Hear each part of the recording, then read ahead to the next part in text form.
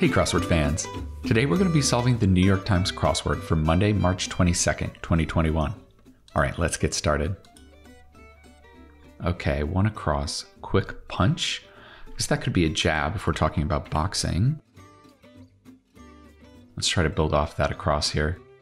Door parts. Uh, that could be door jambs. It's kind of like the area around the door, right? Bitter Italian liqueur. Bitter. Hmm. I'm not sure if I know that one off the top of my head. Removed with the teeth. I guess with with this clue, you got to be careful here. Removed is past tense, so that means the answer is going to have to be in past tense also. So I think it's going to be bit off instead of bite off. Yeah, makes that past tense agree. Yeah, that's good. Friend in France? Yeah, that's ami. I don't know much French, but I do know the word for friend. Mother hen's responsibility. I guess that's her brood, right? That's all her little chicks. Couch. That's just a sofa. Nice and easy. All right, this is looking like it might be Amaro. I maybe have heard of that. I'm not 100% on it though. So let's look at this long answer. This might be our first theme answer here. Collectible toy vehicle. Hmm. Is it is it like a metal die cast or maybe is it a Mattel like the toy brand? Hmm. I'm leaning towards metal, but then this would be EOA, and that seems very unlikely. Classic eyes for Frosty. He had eyes made out of coal, right? So it could be coals, plural. Oh, is it Matchbox cars? There we go. That makes a lot more sense. Okay. So it was Amaro after all. Okay, that's good. All right, nice. This X is looking pretty juicy over here. Let's see what that is. Expert. Hmm. And it ends in an X. Interesting. Is this like an expert in an area of knowledge or something? Hmm. I'm not sure what this is going to be. Stop on a drinker's crawl. I guess that would be a pub, wouldn't it? Because it's usually a pub crawl. Oh, it's because. Okay, here we go. It's matchbox cars. There we go. That was causing some trouble there. And th this isn't plural. Yeah, that's why I had it messed up. I was thinking it needed to be plural. Okay, so now that we have everything spelled correctly, I think we can continue. Okay, so this is pub. Yes, that's good. Expert. Pro. There we go. Now things are starting to fall into place. Yeah. It's that weird feeling when you get answers that you know should be right, but they're not fitting in. That's usually a sign to remove something that you probably have wrong. Okay, not stringently enforcing the rules. Okay, that's lax. All right, there we go. I was surprised we couldn't build anything off of the X here, so that was the first sign that something was wrong. Okay, submitted a resume. I guess that's applied. And then what do we have here?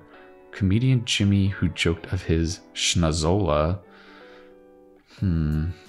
Is it like Durant or something like that? I feel like vaguely I have maybe a memory of hearing that name. Condition that affects concentration for short. Yeah, that's ADHD, right? Attention deficit hyperactive disorder. So I guess I want this to be an N if my first guess at that name is right. Nighttime Demons. I guess that's Incubi. Ooh, that's a fun one. I really like that fill. That's really kind of nice and scary. That's cool. And then maybe this would be a T here? Greek letters that rhyme with three other letters. Eta, maybe? Eta, beta. I don't know what the other two that it would rhyme with would be. Hmm. But I think that's probably pretty likely. Eta's. And then I'm not sure what the last letter here would be. An I or an E, maybe? Laura with an Oscar and an Emmy. Oh, yeah. Laura Dern. Oh, she's delightful. Dr. Sattler in Jurassic Park and Citizen Ruth and just tons of other movies. She's always just so good in any movie she shows up in. Okay, military branch with dress blues and dress whites. I guess that's US Navy. Bygone Swedish Auto. Is it Saab? Do they not make Saabs anymore? Hmm, I don't know if I heard about that. Let's build back up into this corner here. Prank interviewer who referred to Buzz Aldrin as Buzz Lightyear. yeah, it was definitely Ali G. That's the Sacha Baron Cohen character. Yeah, I think um, I think Buzz Aldrin took that in stride, if I remember correctly. Okay, energy efficient illumination sources for short. I guess that would be LEDs, light emitting diodes. Yeah, they're very energy efficient. So called Sin City, that's Las Vegas, right? Home of the Venetian, as we learned the other day. Old fashioned record collection for short.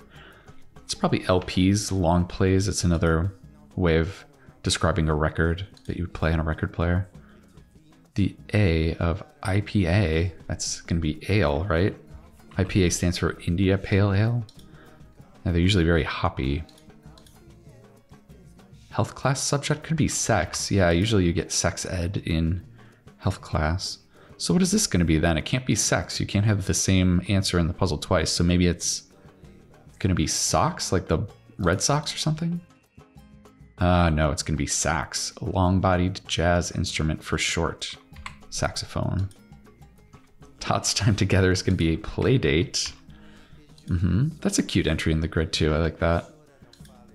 It's just sometimes it's just nice when there's like a little bit of like like incubi and playdate. They're just sort of fun little pieces of language that you don't hear all the time. And they're kind of either cute or scary in this case. Okay, contents of some drifts. Well, there's snow drifts, isn't there? Yeah, we just finally had the last of our snow drifts melt this week. Use needle and thread, so okay, yeah, that looks good there. So that's right. Flowing musically. Mm, this is going to be some kind of Italian music thing. Maybe legato. I don't really know those Italian musical terms very well. Okay, birthplace of General Motors. Yeah, that's definitely Flint, Michigan, right? Yeah, that's where Michael Moore made all his movies about GM kind of dying. Yeah, Flint, Michigan. Okay, imbecilic. Hmm. That could be inane, maybe. Yeah, it's like kind of stupid, right? Person who might bother a bedmate. yeah, that'd be a snorer. Don't want to share a bed with a snorer elemental part of an element. I guess would be an atom. It's like the smallest bit of something, although there's smaller parts of atoms. But yeah, traditionally that's kind of the smallest bit of something. Band aid. Oh, this is interesting. This is this is almost an unindicated wordplay clue. They don't usually have these on Monday. It's kind of cool to see that. Because on its face, you would think this would mean a band aid, right? Like something that you would put on a cut, but it's actually something that aids a band, a musical band. So that would be an amp. Yeah, that's a nice one. I like that. Uh, and then Snoop for nosy sort. Yeah, that looks good. White blank of Dover. Well, I've heard the White Cliffs of Dover. I don't really know what they are. They sound pretty though. I'm imagining they're in the UK somewhere. Artist Matisse, uh, that's Henri.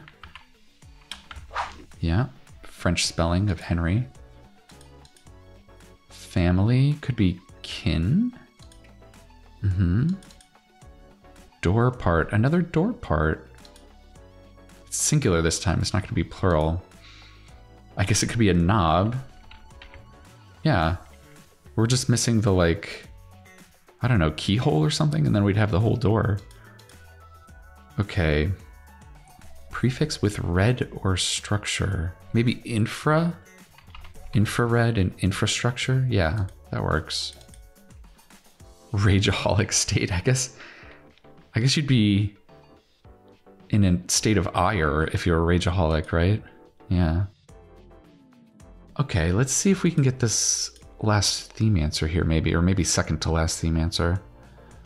Certain online dating bio. Well, it looks like it's going to end in profile, right? Maybe it's a Tinder profile because they're asking certain online dating bio. So certain online is like they're asking for a specific one, not like a generic dating bio thing. So yeah, we're specifying Tinder here. Okay. So it's looking like I'm seeing something in common with these three answers. Have you guys noticed it yet? It's the beginning word of each answer, I think. Match, flint, and Tinder. Those are all things you use to light a fire, right? Yeah, I think we're going to have a fire starter theme here. Let's take a quick look at this last one. It's either going to be a revealer or maybe a fourth theme answer, probably. Okay. 1980 Stephen King novel or a hint to the beginnings of 17, 29, and 45 across. Yeah.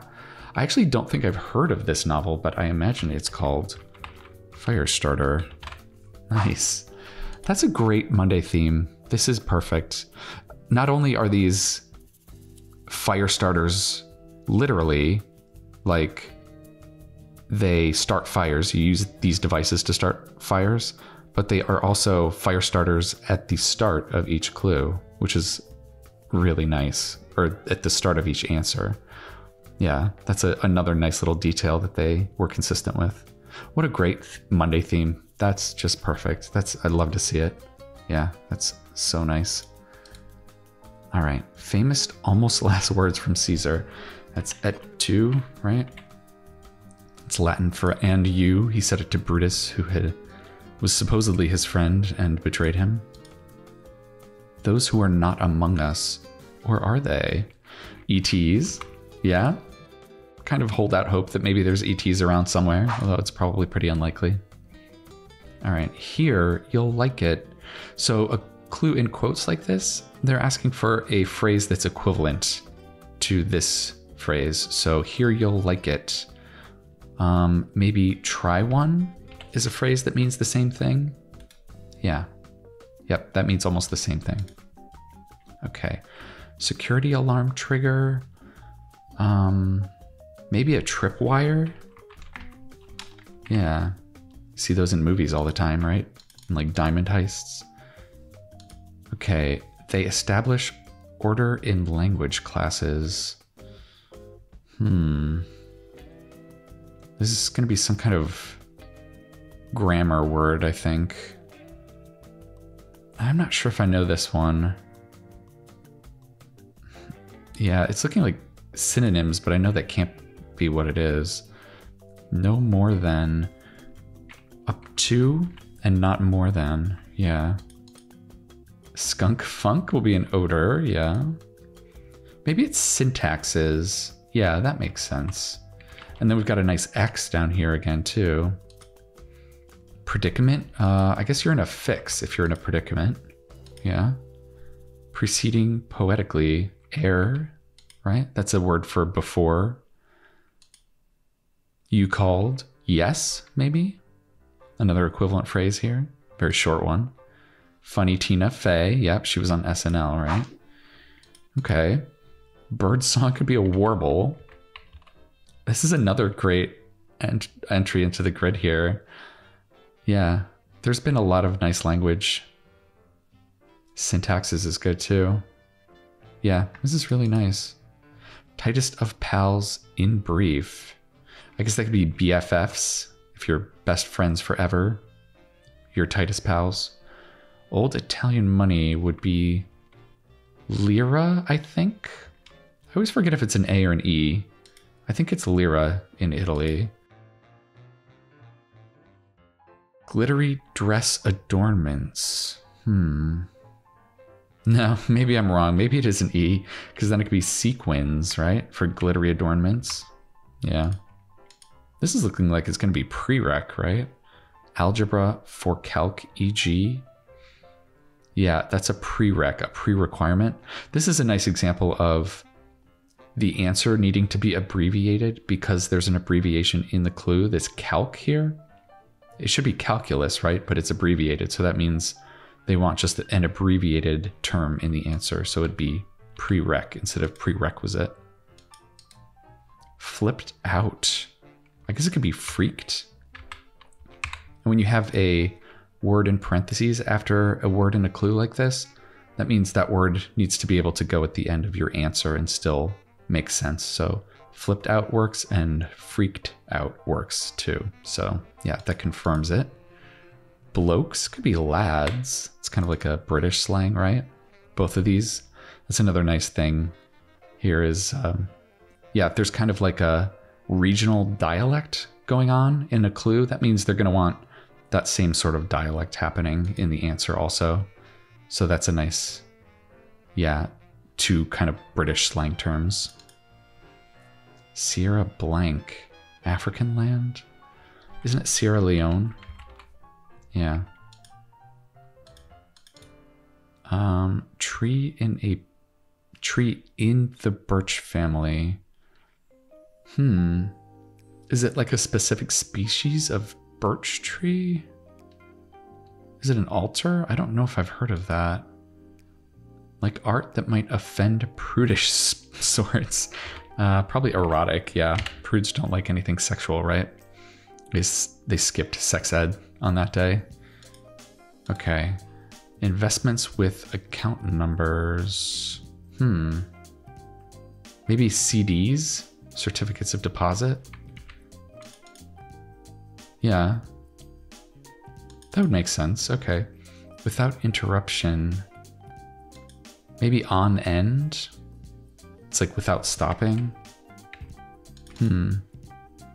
Yeah, Squid's defense. That could be ink, right? They squirt ink when they're startled or something. Corner offices and prime parking spots for company VIPs. Those are all perks, right? At a company, if you get those, that's a perk. Okay, plummet could be drop. So I guess it's alder, an alder tree. I've never heard of that. All right, let's see if that finishes off the puzzle for us. Very nice. Wow, this was such a nice, smooth Monday puzzle. That was just so delightful. Yeah, this is exactly what you want a Monday to be. This great theme, fire starter, tied into a, a book title, and it also describes what's going on with the theme. It's wonderful. Yeah, and there were so many fun entries in the grid. Warble. Sequins is nice too. Erotic is a little spicy. Yeah, Playdate. Loved it. Yeah, and not too much proper noun stuff clogging up the grid. It's so fun. What a great puzzle. Well, I hope you enjoyed solving that along with me. I'm going to be coming back at you tomorrow for the Tuesday puzzle. And yeah, I think that's going to do it for now. All right, I'll see you next time.